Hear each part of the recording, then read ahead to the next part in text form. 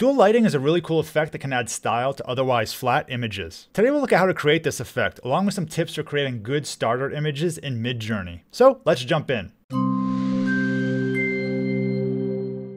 What's up guys, it's Trent and today we're going to look at how to create this dual lighting effect in Affinity Photo. It also works in Affinity Designer but we'll look at Affinity Photo for the most part. Now what I wanted to start with was to explain a little bit of a theory of how can we find images that are good for this type of effect. And then we'll look at how to create these starter images in Midjourney, and also these prompts could be used in other AI generative tools as well. So I have this image here, and this image is a pretty good candidate for dual lighting. The keyword here is dual. We do want something that implies two strong light sources. And I'm getting that in this image here because we have a light source on the left side. I'll highlight it here. You can see this left side light source. And then you can see there's also a light source on the right side. And what I really like is that we have these highlights on both sides of the form. So on the right side here, we have this strong highlight here that goes across the whole body.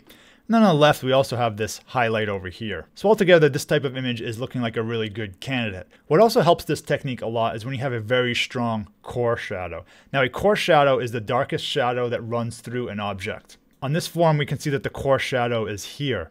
And this makes it really easy to separate the two colors. So clearly this path through the form here is the darkest part of it. So these three components of an image, two strong light sources and a core shadow, will really help you get started with this technique much easier. As time goes on, you can try experimenting with other images that just have more of a mid-tone feel. So here I am in Midjourney, and I'll just give you some examples of some of the terms I've found to be helpful for generating these kind of stark black and white images. I'll put these prompts in the description down below if you want to copy and paste them really quickly. But basically things like strong backlighting and backlit will have a good effect on this. And by the way, AR means aspect ratio. I sometimes like to try wireframe images to just see what comes up. Down here I specified black and white. You don't have to specify black and white. We can always make our image black and white in Affinity Photo, but sometimes black and white can give you a more dramatic effect right out of the box with Midjourney.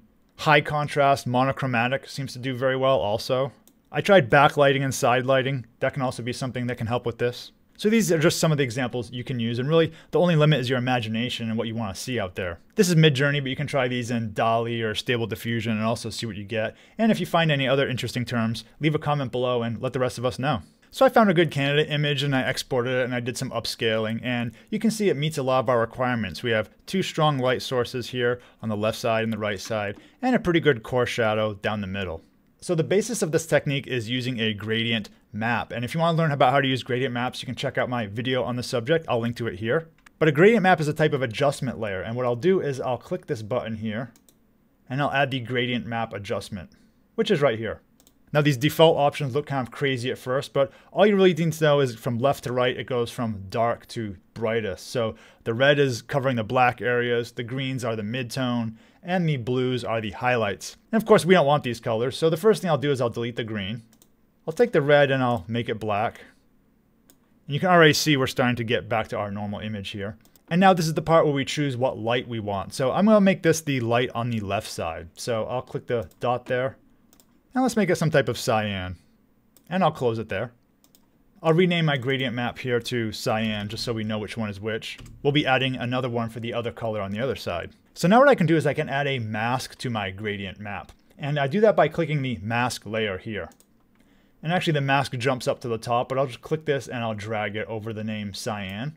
And now this mask will mask out the gradient map. Since it's white, it's not having any effect at all. Now you may know that adjustment layers themselves act as a mask, so if I drew on this cyan adjustment layer, it would be masked itself, but I think there's more flexibility in adding an actual mask to it, so that's what I did. So I have my mask here, and let's start to block out some of this light. So what I'll do is I'll select the mask, I'll select the paintbrush tool, and I'll have a somewhat soft brush.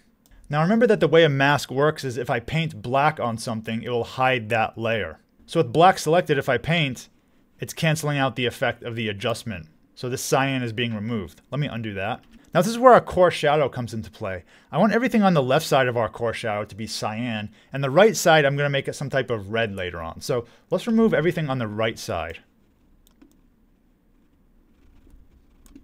And I'm considering the core shadow to be this kind of part here, just right through the middle of her face, down the chest, and this is something that's really just trial and error. You know, experience helps with this. Some images are easier to do than others. Some are just, it's kind of ambiguous, like what's what, where the light's coming from.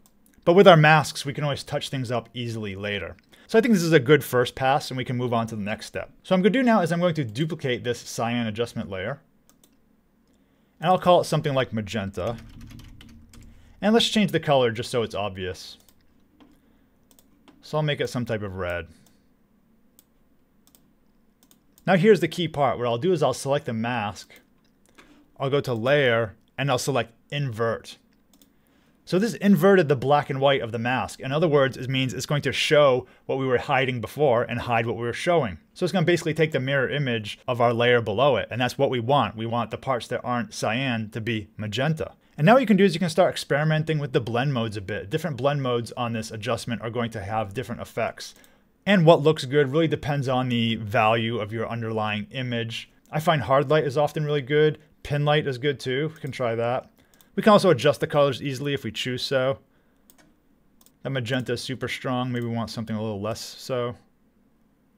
Now you'll notice our background is being influenced by the color also. I kind of like that effect, but if you don't want it, all you have to do is mask it out. So I'll select the selection brush tool. And if I select it here, I'll make sure the hair doesn't get deselected. This is the cyan side, so all I have to do is go to my cyan mask, select a brush, and I can paint black over here. And now we're not getting that lighting effect there. But I kind of did like it there, so let's undo that. So I can see a few areas that need a little work. I'll touch it up and then we'll look at the final result. So here's my final result with the cyan. I ended up going with this color. With the red, I ended up doing this type of shade. And I did pin light for both of them. I also added some curves just to give it a little more punch. So we can see this is before, after. Before, after. That's just one of many ways to create a dual lighting effect using a gradient map. Let me know in the comments if this works for you and if you want to see any other techniques. As always, thanks for watching and see you in the next video.